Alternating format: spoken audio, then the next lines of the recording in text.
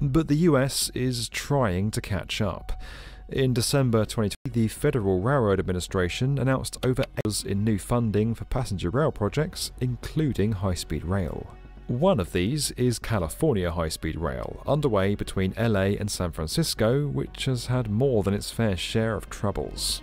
Eight years after construction began, less than half of it has been built, and none of it anywhere near the two main cities.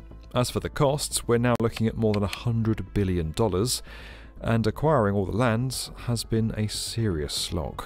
If someone knows you need their land, and you've already sunk a bunch of money into your project and you've tendered a contract, you know, it's not incumbent upon the property owner to quickly satisfy your problem when they can hold out and get more money